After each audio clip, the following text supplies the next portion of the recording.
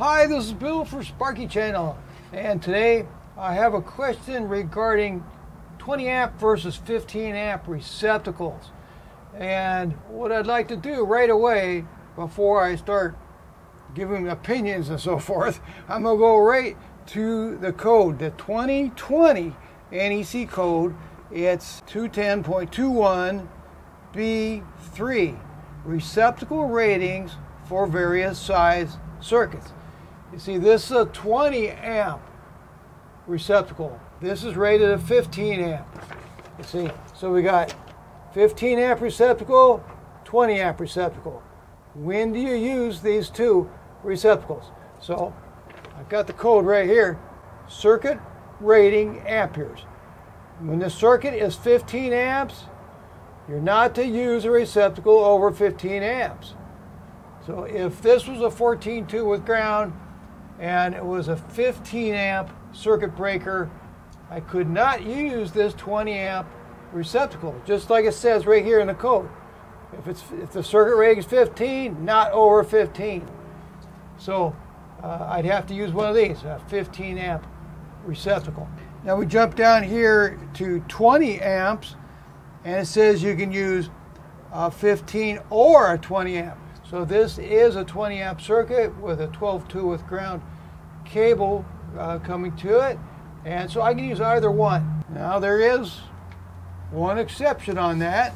This one's pretty well known. This, this code uh, 21021B3 is pretty well known. But this one I'm going to show you isn't as well known. It is NEC 2020 uh, 210.21B1 receptacles. One, single receptacle on an individual branch circuit. A single receptacle. See, this is a duplex receptacle. This is not a single receptacle. A single receptacle would be one that just had one in the middle here. A single receptacle. Okay, a single receptacle installed on an individual branch circuit shall have an ampere rating not less than that of the branch circuit. So if I put a single receptacle on a 20 amp circuit with 12-2 with ground cable, okay, and then I have to use a 20 amp single receptacle. See, in this case, I can use either one. I can use the 15 amp or the 20 amp because they're duplex receptacles. If it's a single receptacle, you got to use the 20 amp. It's mandatory. Okay, so the question is, when do you use the 15 amp and when do you use the 20 amp? Well, if you're on a 20 amp circuit, it's really up to you. It says, it says right here on the table. It says receptacle rating for 20 amp circuit, 15 or 20. This is a 15 amp and this is a 20 amp receptacle. Okay, right there, uh, can you see the difference? How much beefier this one is? See, the black part is thicker, the white part is thicker. Uh, the, the back is, is just more robust on the 20 amp. Both of these are rated 20 amp pass through. Both the 15 amp and the 20 amp receptacle are rated 20 amp pass through. You can put either one of them on a 20 amp circuit as long as it's a duplex receptacle. You see, this is the pass-through area, they're fine. But if you have an appliance like a refrigerator, a microwave, a dishwasher, a garbage disposal, all those, I would use the 20 amp receptacles. Your countertop receptacle circuits have to be 20 amp circuits. And I recommend using the 20 amp receptacle because they're more heavy duty. They're, they're better you see the white part here, this your 20 amp and this your 15 amp. You see the whole white part is thicker. The, the copper coming uh, to the area where you plug in your appliance is thicker. It's more heavy duty. The pass-through area is going to be the same. The part that comes out that you plug into is more heavy duty on the 20 amp receptacle. So for kitchen countertops, I would use the 20 amp receptacle. Now, for uh, you know standard duty convenience receptacles, even on 20 amp circuits, uh, these are fine. One thing I do recommend though, see this is a specification grade 15 amp receptacle. I um, recommend staying with specification grade.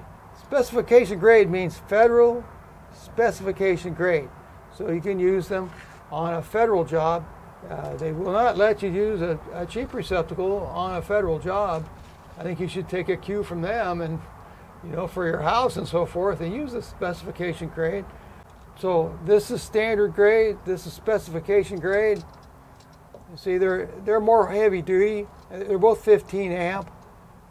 So considerably more heavy duty to use the specification grade. They're going to cost more, but they'll save you money in the long run. So basically, to answer your question, for duplex receptacles that are on a 20 amp circuit with 12 gauge wire, uh, I would use the 20 amp receptacles. You see, you have your choice.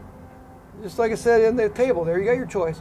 But I would use the 20 amp receptacles in your kitchen, especially for your microwave, your refrigerator, your garbage disposal, your toaster oven, your blender, you know, like the Vitamix blender and so forth, the blenders they have these days, they use a lot of amps. I have a video on that that shows exactly how many amps they use. You'd be surprised.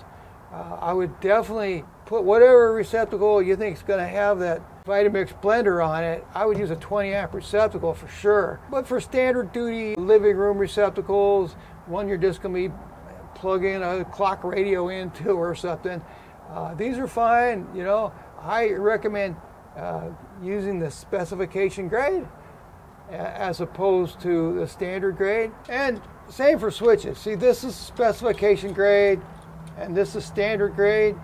Uh, you see the difference. These specification grade switches are going to last you a lot longer. And if you have to call me in or, or an electrical contractor like myself in to fix your receptacle, it's gonna be, you know, $150 or something like that.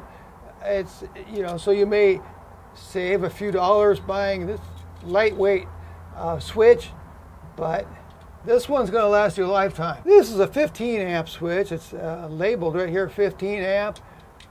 So it's a 15 amp switch, but uh, it's going to last you a lot longer and you're going to avoid that service call from your friendly electrician like myself, or you just avoid yourself having to do the work. My advice is just pay a few bucks extra and get the specification grade. Uh, get a nice grade of switch and you just don't have to worry about it. So I hope that answers your question, and thank you very much.